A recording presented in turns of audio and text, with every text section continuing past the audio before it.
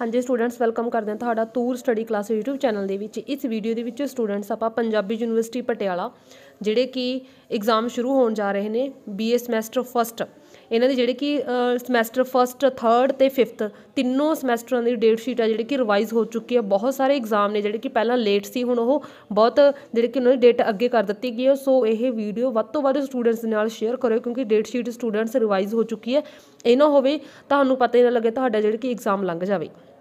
ਸੋ ਵੱਧ ਤੋਂ ਵੱਧ ਵੀਡੀਓ ਸ਼ੇਅਰ ਕਰਨੀ ਆ, ਕਿਉਂਕਿ ਸਟੂਡੈਂਟਸ ਪਹਿਲਾਂ ਦੇਖੋ ਫਸਟ ਸਮੈਸਟਰ ਦੇ ਐਗਜ਼ਾਮ ਸ਼ੁਰੂ ਹੋ ਰਹੇ ਸੀ 11 ਦਸੰਬਰ ਤੋਂ, ਹੁਣ ਉਹ ਸ਼ੁਰੂ ਹੋ ਰਹੇ ਨੇ ਜਿਹੜੇ ਕਿ 8 ਠੀਕ ਹੈ 8 ਦਸੰਬਰ ਤੋਂ। ਪਹਿਲਾਂ 11 ਦਸੰਬਰ ਤੋਂ ਸ਼ੁਰੂ ਹੋ ਰਹੇ ਸੀ, ਹੁਣ 8 ਦਸੰਬਰ ਤੋਂ ਸ਼ੁਰੂ ਹੋ ਰਹੇ ਨੇ ਬੀਏ ਸਮੈਸਟਰ ਫਸਟ ਦੇ ਐਗਜ਼ਾਮ ਠੀਕ ਹੈ।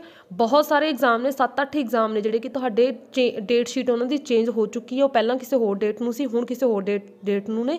ਸੋ ਵੀਡੀਓ ਨੂੰ ਵੱਧ ਤੋਂ ਵੱਧ ਸ਼ੇਅਰ ਕਰਨਾ, ਇਸ ਵੀਡੀਓ ਇਸ ਵੀਡੀਓ ਦੇ ਵਿੱਚ ਆਪਾਂ ਜਿਹੜੇ ਕਿ ਸਭ ਦੀ ਡੇਟ ਸ਼ੀਟ ਦੇਖਾਂਗੇ, ਚਾਹੇ ਸਟੂਡੈਂਟਸ ਰੈਗੂਲਰ ਵਾਲੇ ਨੇ ਪ੍ਰਾਈਵੇਟ ਔਰ ਡਿਸਟੈਂਸ ਐਜੂਕੇਸ਼ਨ ਵਾਲੇ, ਸਭ ਦੀ ਡੇਟ ਸ਼ੀਟ ਜਿਹੜੀ ਕਿ ਮੈਂ ਤੁਹਾਨੂੰ ਸ਼ੋਅ ਕਰੂੰਗੀ ਡੇਟ ਸ਼ੀਟ ਹੈ ਜਿਹੜੀ ਕਿ ਰਿਵਾਈਜ਼ ਹੋ ਚੁੱਕੀ ਹੈ। ਹਾਂਜੀ, ਹੁਣ ਤੁਹਾਡੇ ਜਿਹੜੇ ਕਿ ਰੈਗੂਲਰ ਵਾਲਿਆਂ ਦਾ ਟਾਈਮ ਹੈਗਾ 9:30 ਤੋਂ ਲੈ ਕੇ 12:30 ਵਜੇ ਤੱਕ ਤੇ ਜਿਹੜੇ ਪ੍ਰਾਈਵੇਟ ਔਰ ਡਿਸਟੈਂਸ ਐਜੂਕੇਸ਼ਨ ਵਾਲੇ ਨੇ, ਉਹਨਾਂ ਦੇ ਕੁਝ ਐਗਜ਼ਾਮਸ ਦਾ ਜਿਹੜੇ ਕਿ ਟਾਈਮ ਈਵਨਿੰਗ ਟਾਈਮ ਹੁੰਦਾ 1:30 ਤੋਂ ਲੈ ਕੇ 4:30 ਵਜੇ ਤੱਕ, ਉਹ ਕਿਹੜੇ ਕਿਹੜੇ ਹੋਣਗੇ ਆਪਾਂ ਤੁਹਾਨੂੰ ਦੱਸਾਂਗੇ। ਹਾਂਜੀ, ਹੁਣ ਤੁਹਾਡੇ ਪੇਪਰ 8 ਦਸੰਬਰ ਤੋਂ ਸ਼ੁਰੂ ਹੋ ਰਹੇ ਨੇ, ਪਹਿਲਾਂ ਜਿਹੜੇ 11 ਦਸੰਬਰ ਤੋਂ ਸ਼ੁਰੂ ਸੀ, ਠੀਕ ਹੈ? 8 ਦਸੰਬਰ ਨੂੰ ਹੈਗਾ ਤੁਹਾਡਾ public ad the home science physical education history of art paper first ਠੀਕ ਹੈ? ਇਹ ਹਿਸਟਰੀ ਦੂਜੀ ਹੈ ਸਟੂਡੈਂਟਸ ਜਿਹੜੀ ਤੁਸੀਂ ਰੱਖੀ ਹੋਈ ਹੈ ਹਿਸਟਰੀ ਜਿਹੜੇ ਜਰਨਲੀ ਲੋਕ, ਜਿਹੜੇ ਸਟੂਡੈਂਟਸ ਜ਼ਿਆਦਾਤਰ ਕਰਦੇ ਨੇ, ਉਹ ਹਿਸਟਰੀ ਅਲੱਗ ਹੈ, ਠੀਕ ਹੈ?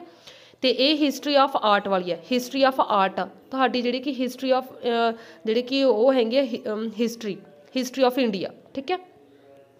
ਹਾਂਜੀ, ਇਹ ਤਾਂ ਬਹੁਤ ਘੱਟ ਸਟੂਡੈਂਟਸ ਰੱਖਦੇ ਨੇ, ਜ਼ਿਆਦਾਤਰ ਜਿਹੜੇ ਕਿ ਹਿਸਟਰੀ ਆਫ ਇੰਡੀਆ ਵਾਲੀ ਹੁੰਦੀ ਆ 8 ਦਸੰਬਰ ਨੂੰ, ਜਿਹੜਾ ਕਿ public ad home science physical education ਦਾ ਐਗਜ਼ਾਮ ਹੈ ਤੇ ਮਿਊਜ਼ੀਕਲ ਥਿਊਰੀ ਹੈ, ਤੇ 11 11 ਦਸੰਬਰ ਨੂੰ ਹੈਗਾ ਇੰਗਲਿਸ਼ ਦਾ ਪੇਪਰ, ਜਿਹੜਾ ਕਿ ਤੁਹਾਡਾ ਪਹਿਲਾਂ 13 ਨੂੰ ਸੀ। 13 ਦਸੰਬਰ ਨੂੰ ਸੀ ਪੇਪਰ, ਉਹ 11 ਦਸੰਬਰ ਨੂੰ ਹੋ ਚੁੱਕਿਆ। ਸਟੂਡੈਂਟਸ ਵੀਡੀਓ ਵੱਧ ਤੋਂ ਵੱਧ ਸ਼ੇਅਰ ਕਰਨਾ, ਇਹ ਨਾ ਹੋਵੇ ਤੁਸੀਂ 11 ਦਸੰਬਰ ਨੂੰ ਤੁਹਾਨੂੰ ਪਤਾ ਹੀ ਨਹੀਂ ਲੱਗੇ, ਤੁਹਾਡਾ ਐਗਜ਼ਾਮ ਹੋ ਚੁੱਕਿਆ, ਤੁਸੀਂ 13 ਨੂੰ ਜਾਓ 11 ਨੂੰ ਹੋ ਚੁੱਕਿਆ ਹੋਵੇ, ਠੀਕ ਹੈ?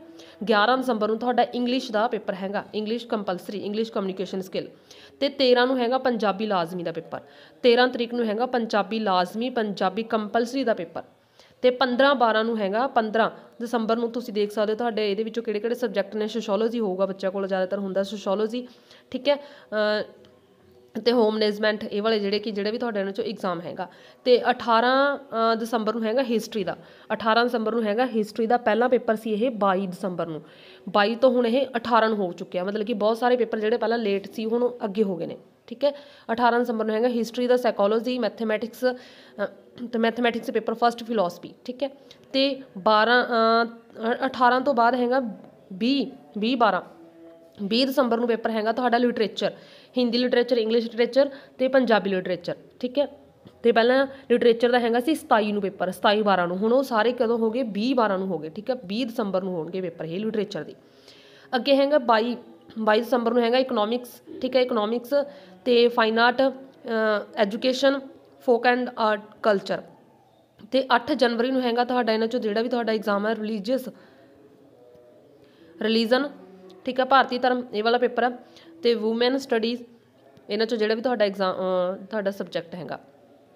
ਤੇ 10 ਜਨਵਰੀ ਨੂੰ ਹੈਗਾ ਪੋਲੀਟੀਕਲ ਸਾਇੰਸ ਪੋਲੀਟੀਕਲ ਸਾਇੰਸ ਦਾ ਪੇਪਰ ਹੁਣ ਪਹਿਲਾਂ ਇਹ ਸੀ, ਇਹ ਹੁਣ ਲੇਟ ਹੋ ਗਿਆ ਪੋਲੀਟੀਕਲ ਸਾਇੰਸ ਦਾ ਪਹਿਲਾ ਪੇਪਰ ਸੀ 4 4 ਜਨਵਰੀ ਨੂੰ ਸੀ ਹੁਣ ਇਹ 10 ਜਨਵਰੀ ਨੂੰ ਹੈ ਪੋਲੀਟੀਕਲ ਸਾਇੰਸ ਦਾ ਹੁਣ 10 ਜਨਵਰੀ ਨੂੰ ਪੇਪਰ ਆ ਪਹਿਲਾਂ ਇਹ ਅ, 4 ਜਨਵਰੀ ਨੂੰ ਸੀ ਠੀਕ ਹੈ ਪੋਲੀਟੀਕਲ ਸਾਇੰਸ 10 ਜਨਵਰੀ ਨੂੰ ਹੈ ਤੇ 12 ਜਨਵਰੀ ਨੂੰ ਪੁਲਿਸ ਐਡਮਿਨਿਸਟ੍ਰੇਸ਼ਨ ਵੀ 10 ਜਨਵਰੀ ਨੂੰ ਹੀ ਹੈ ਤੇ 12 ਜਨਵਰੀ ਨੂੰ ਹੈਗਾ ਜੀਓਗ੍ਰਾਫੀ ਠੀਕ ਆ ਕੰਪਿਊਟਰ ਸਾਇੰਸ ਇਹਨਾਂ ਦੇ ਵਿੱਚੋਂ ਜਿਹੜੇ ਵੀ ਤੁਹਾਡਾ ਐਗਜ਼ਾਮ ਹੈਗਾ ਮਿਊਜ਼ੀਕਲ ਥਿਊਰੀ ਪੇਪਰ ਤੇ 15 15 ਜਨਵਰੀ ਨੂੰ ਹੈਗਾ ਮੈਥਮੈਟਿਕਸ 2 ਪੇਪਰ 2 ਠੀਕ ਹੈ ਸੋਸ਼ਲ ਵਰਕਰ ਤੇ 18 ਜਨਵਰੀ ਨੂੰ ਹੈਗਾ ਮੈਥਮੈਟਿਕਸ ਪੇਪਰ 3rd ਠੀਕ ਹੈ ਇਹਨਾਂ ਚੋਂ ਜਿਹੜੇ ਵੀ ਤੁਹਾਡਾ ਐਗਜ਼ਾਮ ਆ। ਸੋ ਤੇ ਹੁਣ ਮੈਂ ਤੁਹਾਨੂੰ ਜਿਹੜੇ ਕਿ ਪ੍ਰਾਈਵੇਟ ਔਰ ਡਿਸਟੈਂਸ ਐਜੂਕੇਸ਼ਨ ਵਾਲਿਆਂ ਦੀ ਦਿਖਾਉਣੀ ਹੈ ਡੇਟ ਸ਼ੀਟ ਠੀਕ ਹੈ? ਉਹਨਾਂ ਦੇ ਵਿੱਚ ਪੇਪਰ ਉਸੇ ਦਿਨ ਹੁੰਦਾ ਬਟ ਉਹਨਾਂ ਦਾ ਟਾਈਮ ਫ਼ਰਕ ਹੁੰਦਾ। ਕੁਝ ਐਗਜ਼ਾਮਸ ਦਾ, ਉਹ ਮੈਂ ਤੁਹਾਨੂੰ ਦੱਸਦੀ ਕਿਹੜੇ ਕਿਹੜੇ ਨੇ। ਵੀਡੀਓ ਨੂੰ ਵੱਧ ਤੋਂ ਵੱਧ ਸ਼ੇਅਰ ਕਰਨਾ ਚੈਨਲ ਨੂੰ ਜਰੂਰ ਸਬਸਕ੍ਰਾਈਬ ਕਰੋ, ਕਿਉਂਕਿ ਇਸ ਚੈਨਲ ਤੇ ਤੁਹਾਡੇ ਐਗਜ਼ਾਮ ਦੀ ਬੈਸਟ ਤਿਆਰੀ ਕਰਵਾਈ ਜਾਂਦੀ ਹੈ। ਹਰ ਇੱਕ ਸਬਜੈਕਟ ਦੇ ਪ੍ਰੀਵੀਅਸ ਈਅਰ ਕੁਐਸਚਨ ਪੇਪਰ ਆਪਾਂ ਪ੍ਰੋਵਾਈਡ ਕਰਾਉਂਦੇ ਕਿਉਂਕਿ ਕੁਐਸਚਨ ਅਕਸਰ ਰਿਪੀਟ ਹੁੰਦੇ ਨੇ। ਹਾਂਜੀ। ਸਮੈਸਟਰ ਫਸਟ ਠੀਕ ਹੈ? 8 ਦਸੰਬਰ ਤੋਂ ਡੇਟ ਸ਼ੀਟ ਰਿਵਾਈਜ਼ਡ ਹੋ ਚੁੱਕੀ ਹੈ ਇਹ ਹੈਗੇ ਆ ਪ੍ਰਾਈਵੇਟ ਔਰ ਡਿਸਟੈਂਸ ਐਜੂਕੇਸ਼ਨ ਵਾਲਿਆਂ ਦੀ। ਹਾਂਜੀ, ਤੁਸੀਂ ਦੇਖ ਸਕਦੇ ਹੋ। ਜਿਹੜਾ ਫਸਟ ਪੇਪਰ ਦੀ ਟਾਈਮ ਤੁਹਾਡੀ ਮਾਰਨਿੰਗ ਟਾਈਮ ਹੈ ਪਬਲਿਕ ਐਡ ਦਾ ਤੁਹਾਡਾ ਮਾਰਨਿੰਗ ਟਾਈਮ ਹੋਊਗਾ। ਹਾਂ ਇੰਗਲਿਸ਼ ਦਾ ਐਗਜ਼ਾਮ ਤੁਹਾਡਾ ਈਵਨਿੰਗ ਟਾਈਮ ਹੋਊਗਾ 1:30 ਵਜੇ ਤੋਂ ਲੈ ਕੇ 4:30 ਵਜੇ ਤੱਕ। ਤੇ ਪੰਜਾਬੀ ਲਾਜ਼ਮੀ ਦਾ ਵੀ ਤੁਹਾਡਾ ਟਾਈਮ ਚੇਂਜ ਹੋਊਗਾ। ਟਾਈਮ ਨਹੀਂ ਸਟੂਡੈਂਟਸ ਮਤਲਬ ਕਿ ਟਾਈਮ ਦਾ ਫ਼ਰਕ ਹੁੰਦਾ। ਡੇਟ ਦਾ ਫ਼ਰਕ ਨਹੀਂ ਹੁੰਦਾ। ਡੇਟ ਜਿਸ ਐਗਜ਼ਾਮ ਜਿਸ ਡੇਟ ਨੂੰ ਤੁਹਾਡਾ ਐਗਜ਼ਾਮ ਹੋਊਗਾ ਰੈਗੂਲਰ ਦਾ, ਉਸੇ ਡੇਟ ਨੂੰ ਤੁਹਾਡਾ ਐਗਜ਼ਾਮ ਹੋਊਗਾ ਪ੍ਰਾਈਵੇਟ ਔਰ ਡਿਸਟੈਂਸ ਐਜੂਕੇਸ਼ਨ ਵਾਲਿਆਂ ਦਾ। ਬਟ ਟਾਈਮ ਫ਼ਰਕ ਹੋਊਗਾ ਕੁਝ ਐਗਜ਼ਾਮਸ ਦਾ, ਠੀਕ ਹੈ? ਹਾਂਜੀ, ਤੁਸੀਂ ਦੇਖ ਸਕਦੇ ਇੰਗਲਿਸ਼ ਤੁਹਾਡਾ ਈਵਨਿੰਗ ਟਾਈਮ ਹੈ ਤੇ ਪੰਜਾਬੀ ਕੰਪਲਸਰੀ ਵੀ ਤੁਹਾਡਾ ਈਵਨਿੰਗ ਟਾਈਮ ਹੈ। ਤੇ ਹਿਸਟਰੀ ਵੀ ਤੁਹਾਡਾ ਈਵਨਿੰਗ ਟਾਈਮ ਹੈ। ਹਿਸਟਰੀ ਵੀ ਤੁਹਾਡਾ ਈਵਨਿੰਗ ਟਾਈਮ ਹੋਊਗਾ, ਠੀਕ ਹੈ? ਤੇ ਲਿਟਰੇਚਰ ਵੀ ਤੁਹਾਡਾ ਈਵਨਿੰਗ ਟਾਈਮ ਹੋਊਗਾ ਡਿਸਟੈਂਸ ਐਜੂਕੇਸ਼ਨ ਵਾਲਾ ਪ੍ਰਾਈਵੇਟ ਵਾਲਿਆਂ ਦਾ 20 ਦਸੰਬਰ ਨੂੰ, ਠੀਕ ਹੈ? ਤੇ ਬਾਕੀ ਦੇਖਦੇ ਆਪਾਂ ਹੋਰ ਕਿਹੜੇ ਕਿਹੜੇ ਐਗਜ਼ਾਮ ਦਾ, ਬਾਕੀ ਐਗਜ਼ਾਮ ਸਾਰੇ ਮਾਰਨਿੰਗ ਟਾਈਮ 'ਚ ਨੇ, ਠੀਕ ਹੈ? ਸਿਰਫ ਇਹ ਇਹ ਇਹ ਜਿਹੜੇ ਚਾਰ ਪੰਜ ਐਗਜ਼ਾਮ ਨੇ, ਇਹਨਾਂ ਦਾ ਟਾਈਮਿੰਗ ਫ਼ਰਕ ਹੈ। ਸੋ ਇਹ ਸੀ ਤੁਹਾਡੀ ਡੇਟ ਸ਼ੀਟ ਥੈਂਕਸ